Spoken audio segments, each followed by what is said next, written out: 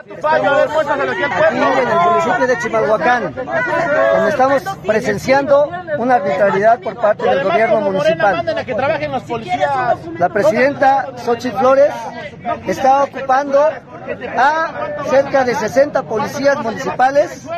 Están concentrados más de 14 patrullas aquí, con todo el aparato gubernamental de la administración pública, para bajar un espectacular. En lugar de estar cuidando las calles, a los ciudadanos, a los vecinos de este municipio emblemático que es Chimalhuacán y que tanta inseguridad padece. Robos, asaltos, homicidios, feminicidios y Xochitl Flores ocupada por bajar un espectacular de la maestra Alejandra del Moral Vela. ¿Cuál es el miedo? ¿Cuál es el temor? ¿Cuál es el problema que ven que podamos colocar un espectacular con el que se cuentan los permisos necesarios. Tienen que agotar el procedimiento administrativo. No pueden llegar de manera arbitraria y estar bajando un espectacular que están violentando la ley. Les queremos hacer un llamado enérgico al Instituto Electoral del Estado de México, porque Xochitl Flores, la presidenta municipal de Chimalhuacán, está teniendo intervencionismo en el proceso electoral de la gubernatura, utilizando todos los recursos públicos a favor de su candidata Delfina Gómez. Quisiera que fuéramos a ver todo el aparato de la policía municipal que se encuentra presente. Vean nada más toda la policía municipal para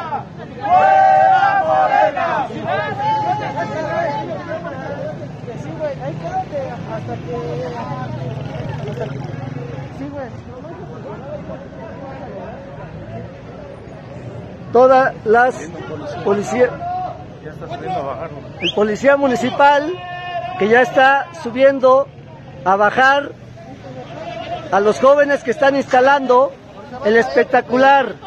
De tal manera que esto es una arbitrariedad y valdría la pena que se les responsabilidades a los servidores públicos que están infringiendo en este acto arbitrario. La policía municipal no tiene facultades ni atribuciones para atropellar la ley de esta manera. La gente de Chimalhuacán busca seguridad, mejores servicios, que el pueblo de, de Chimalhuacán tenga más garantías respecto a sus servidores públicos y no este atropello. Aquí está el jefe de espectáculos que no trae ni siquiera un procedimiento administrativo.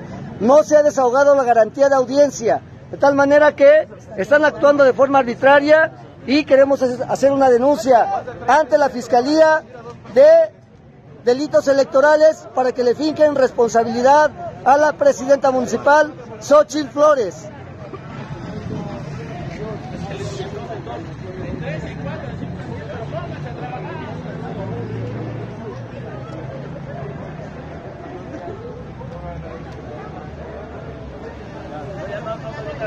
A la mitad y con todo el peligro que eso implica.